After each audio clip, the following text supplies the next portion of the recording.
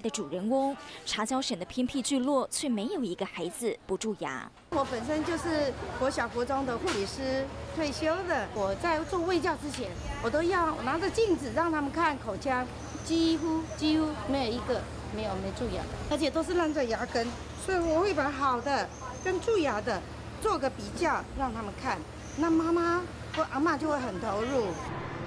孕妇甚至也不知道自己怀孕了，大概是有四位到五位都没有做产检，都没有做产检，也不知道她怀孕了也有多大了。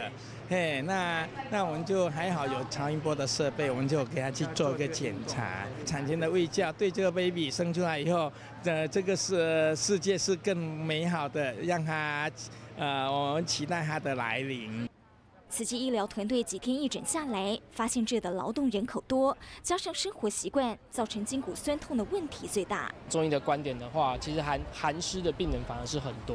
那在跟就是跟他们沟通的过程当中，发现其实这跟他们可能洗澡的时候，很多其实是在洗冷水的，或者是说他们会睡在地上。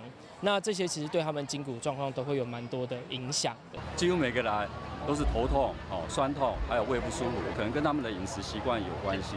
他们很喜欢喝冰水，然后可能吃一些比较腌制的啦，哈，比较酸的或者比较辣的东西。那三个都是咳嗽，咳嗽呃前两个大概都咳将近两个月，那最后一个是咳嗽了一年多。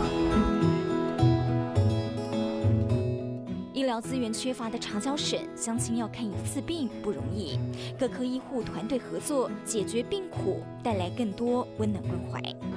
大新闻，这是美职工柬埔寨报道。呃，如果没有他。